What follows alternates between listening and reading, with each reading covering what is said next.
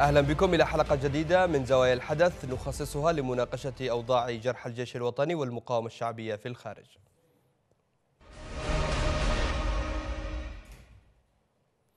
وجه الجرحى نداء استغاثة لإنقاذهم من الإهمال الذي يتعرضون له في مستشفيات السودان. وأعلن الجرحى تنفيذهم اعتصاما مفتوحا داخل مقر السفارة اليمنية في الخرطوم مهددين بالإضراب عن الطعام حتى تلبية مطالبهم. وفي بيان لهم طالب 14 جريحا من الحكومة وقيادة التحالف العربي معالجة أوضاعهم السيئة والناتجة عن إهمال الجهات المسؤولة عن ملف الجرحى. نتوقف عند هذا الخبر لنناقشه في محورين. إلى متى سيظل ملف الجرحى خارج اهتمام السلطة الشرعية؟ وكيف تحول هذا الملف إلى مظلمة وقضية تتفاقم يوما بعد آخر؟ قبل النقاش نذهب إلى مشاهدة هذا التقرير ومن ثم نعود. صرخات بلون الدم. هي تلك التي ما فتئ جرح الحرب المنسيون يطلقونها في فضاء العواصم. حيث أهملوا ولم يعد يلتفت إليهم أحد. لم يشهد العالم حربا نسيت جرحاها أكثر من هذه الحرب التي تعصف باليمنيين منذ ثلاثة أعوام. أكثر الجرحى عرضة للإهمال هم الذين قاتلوا ويقاتلون ضمن هذا الطيف الواسع المساند للسلطة الشرعية والمؤيد للتحالف العربي أو ما بقي من هذا التحالف. أحدث هذه الصرخات سمع دويها في الخرطوم والقاهرة حيث يقبع الجرحى ومعظمهم من تعز في ظروف سيئة ومستوى لا يحتمل من الإهمال. هؤلاء الجرحى حالفهم الحظ فغادروا الجبهات والمستشفيات قليلة الإمكانية في تعز إلى مستشفيات خارجية لكن حظهم يتعثر ويزداد سوءا. الجهد المبذول للعناية بالجرحى يخضع لمستوى من التصنيف غير العادل من جانب التحالف نفسه. حيث تتاح أكثر الفرص لجرحى دون غيرهم وتبعا لانتمائهم المناطقي وذلك هو أسوأ ما يشير إلى هذه الحرب باعتبارها فضاء للموت والدمار وانعدام العدالة. دافع المحافظ علي المعمري ثمنا باهظا لأنه تمكن من الحصول على منحة علاجية لأكثر من 120 من الجرحى المحاربين في تعز في مشافي تركيا أواخر العام 2016 إلى حد لم يستطع معه العودة إلى تعز لممارسة صلاحياته ولم يتمكن من دخول ميناء المخا الواقعة في الساحل الغربي للمحافظة والتي تخضع لسلطاته الإدارية. ثمة من يصر على عدم مكافأة من قاتلوا دفاعا عن الدولة المغدورة والاستحقاق الوطني الأصيل في التغيير. فالحرب ليست من أجل هذا الاستحقاق بل من أجل محاصرة كل أمل ممكن لليمنيين في التغيير والانعتاق. نبدأ النقاش مع ضيفنا من السودان الجريح سامي الحميدي. أهلا بك. مرحبا بك يا أخي هلا فيكم. أشكركم على استضافتنا في هذا بهذه القناة. شكرا لك أخ سامي. في البداية لو تحدثنا عن أوضاعك وأوضاع زملائك الجرحى والمتواجدين في السودان. وضع الجرحى في السودان في حالة حرجة جدا تتطلب الدخل السريع من الجهات المختصة نحن جرعاء الجيش الوطني في السودان منهم من قضاء نحبه ومنهم من ينتظر نطالب الجهات المعنية بأن يشوفوا حل إلى الجرحى. نناشد كل من رئيس الجمهورية ورئيس الوزراء وقيادة المقاومة. كمان نناشد التحالف العربي بقيادة الملك سلمان ومحمد بن زيد بن سلطان. النظر في معاناتنا حيث نحن نعاني من معاناة كبيرة من الآلام والجراح والبعض منا في حالة الخطيرة يحتاج إلى مراكز متقدمة. طيب ما هي ما هي المشاكل حاليا الآن؟ المشاكل الحالية الآن آه، مشاكل الطرف الصناعية والوجه والفكين والباع والوجه والفكين. طيب آه، الحكومة الشرعية ما الذي قدمته وفعلته لكم؟ الحكومة الشرعية لم تقدم لنا أي شيء ولم يتواصلوا معنا أي جهة معنيه منهم وقد وقد ناشر عبر وسائل الإعلام وعبر الفيسبوك وعبر في كل المجالات طيب ومن القاهرة أيضا تنضم إلينا الناشطة الحقوقية حياة الذبحاني أهلا بك أستاذة حياة بداية آه، كيف هي أوضاع الجرحى في جمهورية مصر؟ نعم مرحبا بكم وبكل مشاهدي قناة بلقيس الفضائية وشكرا لهذه القناة الرائعة التي طالما تلتفت لجرحى سواء في مدينة تعز أو في خارج اليمن. وضع الجرحى في مدينة القاهرة هو وضع مؤلم للغاية ومحزن حد الكون. يعني ما رأيته أنا هو وضع إنساني مأساوي جدا. الجرحى أتوا هنا إلى القاهرة عبر فاعلي خير ووصلوا إلى القاهرة. لم يجدوا أي اهتمام من السفارة اليمنية. هنا لم يجدوا أي اهتمام كذلك من وزارة الصحة التي من المفترض أن تنسق لهم على الأقل في استخدامهم إلى مستشفيات هنا في القاهرة. إلى ذلك كذلك نقص كذلك المادة لدى هؤلاء الجرحى نفذ ما كان لديهم من الأموال التي جمعت لهم عبر فاعلي خير والبعض كذلك الذي استنفذ ماله الذي باع سيارته والذي باع أرضه الذي باع بيته. ووصل هنا إلى القاهرة في حقيقة الأمر ولم يجد أي اهتمام من الدولة. نحن هنا نضع عدة تساؤلات. لماذا لا توجد لجنة للجرحى هنا في القاهرة أسوة ببقية المحافظات الأخرى. الجرحى في مارب لديهم لجنة وتقوم بتيسير الاستقبال لهؤلاء الجرحى اضف كذلك إلى الجرحى من لاحج وعدن ومن المناطق الجنوبية لديهم كذلك هنا جرحى. بل أنا أستغرب كذلك بأن حينما كنت أرى الجرحى من الجنوب أستغرب أن هؤلاء جرحى لأن جراحهم لا تقارن بجراح أبناء مدينة تعز، نحن هنا أمام جرحى فقدت أطرافهم، أمام جرحى فقدت حاسة الإبصار لديهم، أمام جرحى تعفنت جراحهم، ناشدنا رئاسة الجمهورية مرارا وتكرارا والشرعية ووزارة الصحة و محافظ المحافظة وكل من يعنى بأمر جرحى مدينة تعز ولكننا في حقيقة الأمر لم نلقى أي استجابة من أي من الأطراف. وهم جرحى تعز مرميين في القاهرة على أرصفة الإهمال والخذلان ولا نعلم لماذا بالتحديد. طيب أستاذة حياة إذا الآن المشكلة هي فقط للجرحى المتواجدين في القاهرة والذين هم ربما على نفقة رجال خير كما تحدثت وعلى نفقاتهم الخاصة. ماذا عن الجرحى الذين هم عن طريق اللجان المشكلة من قبل الحكومة الشرعية؟ لا توجد لديهم أي إشكاليات؟ نعم الجرحى الذين سافروا عن طريق الدولة هو الجرحى الذين سافروا إلى تركيا الدفعة الأولى. ويكون هناك اهتمام ممتاز من قبل الحكومة التركية وكثير منهم يعني يحيوا تركيا وكل جهود الأطباء هناك في خدمة اولئك الجرحى كذلك إلى الجرحى الذين سافروا أيضا على حسب مركز الملك سلمان إلى السودان. هم دفعتين ولكن في حقيقة جرحى السودان يشكون كثيرا يعني من تواجدهم في السودان في مشاكل ريفية لا تقدم لهم الاهتمام والرعاية اللازمة. كثير من الجرحى هناك في السودان يطالبون ب يسمح لهم بأن يأتوا إلى مصر للاستقبال لأن كما قالوا إنهم هناك في مستشفيات ريفية. وكذلك بعض الأطباء عن هذه في الريف يستغرق ذلك السفر اليهم مع الطبيب ربما الأربع أو الخمس ساعات حتى يصل اليهم مع الطبيب. فوضع فعلا مؤلم لجرحى كذلك تعب في السودان. نحن نناشد مرة أخرى مركز الملك سلمان والقيادة الشرعية بالنظر لجرحى مدينة تعز وإلى هذا الملف الاهتمام البالغ لأن هؤلاء الجرحى هم من بريطانيا الشرعية وهم من قاوموا انتشار صالح والحوثي وهم من قدموا هذه الأشياء وتلك الدماء من أجل الانعتاق من هذا الانقلاب الفاشل في اليمن. لماذا كل هذا الخذلان الجرحى والى متى؟ نحن ثلاث سنوات ونحن نقوم بالوقفات الاحتجاجية في شارع جمال ثلاث سنوات ونحن بحث أصواتنا في كل القنوات الإعلامية ونحن ننادي بالالتفات إلى جرحى مدينة تعز يعني طيب نريد قد يكون هناك إشكالية الآن تتعلق ربما بهؤلاء الجرحى الذين سافروا إلى مصر عن طريق رجال خير ونفقتهم الخاصة أنه لا يوجد تنسيق مع الحكومة بالتالي قد يكون هذا هو أو هذه هي الإجابة على استمرار المشكلة التي يعاني منها أنه لم تكن هناك تنسيق ولا تواصل من البداية. أخي فاضل رفعت كل الملفات إلى وزارة الجرحى والى المكاتب ولكن في حقيقة الأمر لم يكن هناك الاستجابة.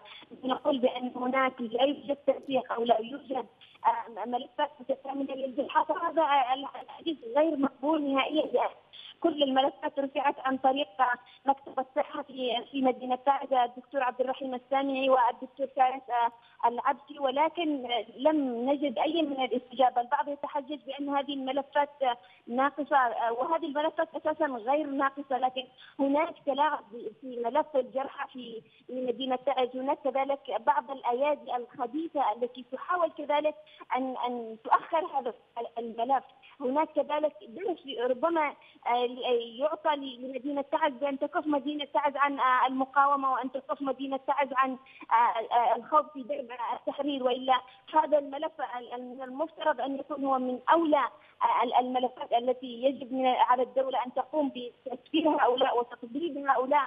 يعني هؤلاء هذا ينعكس سلبيا على أبطال المقاومة الشعبية في الجبهات حينما ينظرون إلى رفاقهم بدون علاج. يعني لا أستطيع أن اصف قمة النهزله طيب. التي تحدث هنا في القاهره ساعدك استاذه حياه الذبحاني تفضلي بالبقاء معنا. اعتذر دار الأوبرا ومنع الجرحى من دخول الحفل يعني تخيل بأن الجرحى مدينة سعد يمنعون من الدخول إلى احتفال السفارة في باعياد 14 أكتوبر و 26 سبتمبر. لولا تدخل بعض الأحرار. وإدخال الجرحى إلى هذا الاحتفال، عن ماذا نتحدث؟ الجرحى لا يسمح لهم بالدخول للاحتفال، فكيف لنا أن نتحدث عن عن علاجهم؟ لكن سيكتب التاريخ عن خذلان هؤلاء الجرحى وستلعن دماءهم وجراحهم كل متآمر وصامت ومتخاذل في ملف الجرحى في سواء في داخل تعز أو خارج تعز.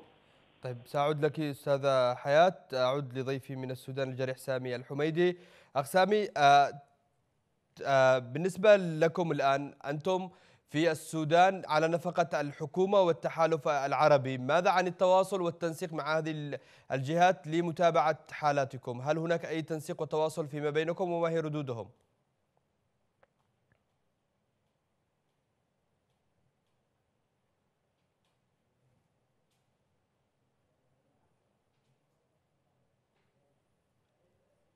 أخ سامي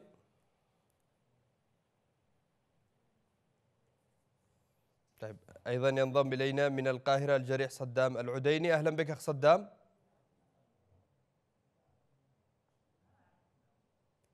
طيب أعود للأستاذة حياة الذبحاني من القاهرة. الحكومة تتحدث عن تشكيلها للجنة لمتابعة أوضاع الجرحى. هذه اللجنة هل تواصلت وما والذي قدمته؟ نعم. نحن نسمع عن تشكيل لجان ولكن في حقيقة الأمر آه، كما يقال نسمع جعجعة ولا نرى طحينة وهذه الجعجعة نحن نسمعها منذ ثلاث سنوات بأنه سيتم تشكيل لجان للجرحى وسيتم تسكير آه، الجرحى وسيتم معالجة الجرحى وسيتم وسيتم ولكن في حقيقة الأمر لم يتم أي من تلك الوعود ولم تترجم تلك الوعود إلى حيز الواقع نهائيا. ما نراه هو مزيد من الآلام مزيد من الخذلان مزيد من الجرحى. يعني نحن هنا قمنا ببعض العمليات للجرحى عبر فاعلية الخير واستطعنا أن ننجز عدة عمليات لهؤلاء آه، الجرحى. لم نلقى حتى من السفارات آه، من السفارة هنا السفارة اليمنية في القاهرة مجرد تسيير لهؤلاء. الجرحى مجرد تنسيق لهم في المستشفيات مجرد كذلك ان تقوم هذه السفاره بدورها في التخفيض لليمنيين آه، سواء آه، آه، الجرحى أو غيرهم. يعني قمه الإهمال للجرحى نحن كذلك نضع عدة تساؤلات. أين هي المبالغ التي تدك لجرحى مدينة تعز والى متى ستظل يعني هذه المعاملة واقفة وإلى متى ستظل هذه الوعود قيد الانتظار؟ هؤلاء الجرحى يحتاجون إلى التدخل العلاجي السريع. هناك مزيد من الجرحى تحولت جرحهم إلى إعاقة دائمة بسبب الاهمال وبسبب التأخير. بعض الجرحى الذين عرضناهم هنا على مشافي في القاهرة يقول لنا الطبيب بكل سهولة أنتم تأخرتم كثيرا ماتت أعصاب هذا الجريح لا نستطيع أن نصنع له شيء. بل يعني عدة تساؤلات لم نستطع نحن الإجابة عنها ونريد إجابة عنها من المسؤول الأول وهي الشرعية ووزارة الصحة. نحن نادينا كذلك بإسقاط وزير الصحة لأنه لم يولي ملف الجرحى أي من الاهتمام اللازم. جرحى تعز الذين كما قلت لك مسبقا يجب أن يساووا بغيرهم على الأقل من الجرحى الآخرين. وأن تشكل لهم لجنة هنا في القاهرة تتولى متابعة امورهم الصحية، أضف كذلك إلى المبلغ الذي هو في وزارة المالية الذي ما يقارب ال 77 ألف دولار والبعض يقول بأنه 55 ألف دولار من ما تبقى من رصيد جرحى تعز في عام 2011 لماذا لا يحول هذا المبلغ؟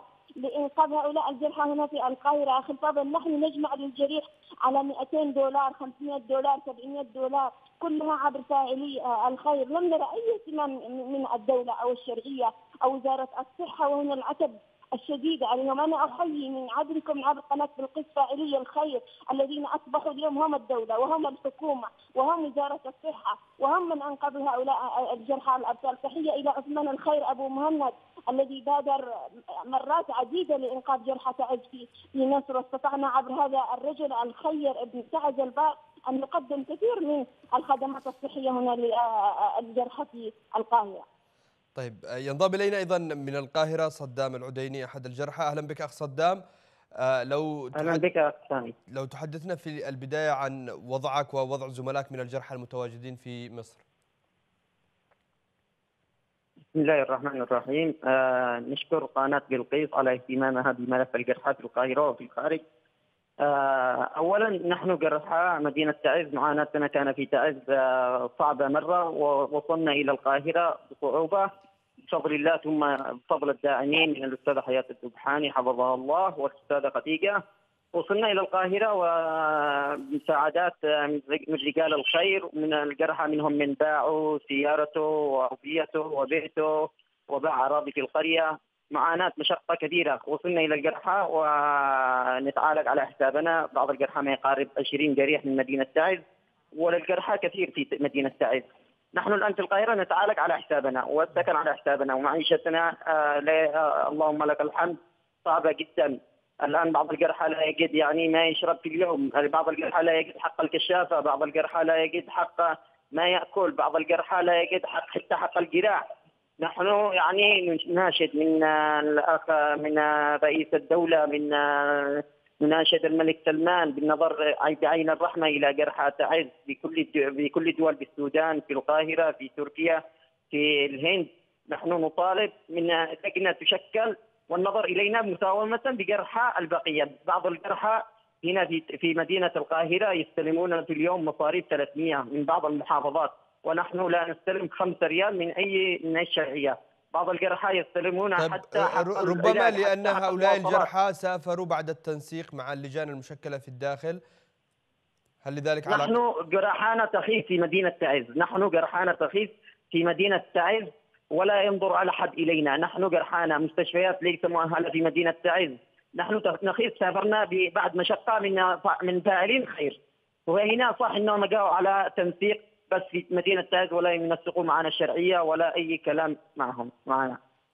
طيب الآن ما هي الخطوات التي من خلالها تودون التعبير عن الحاله التي وصلتم إليها؟ هناك حديث عن اعتصام ربما تريدون تنفيذه في مقر السفارة.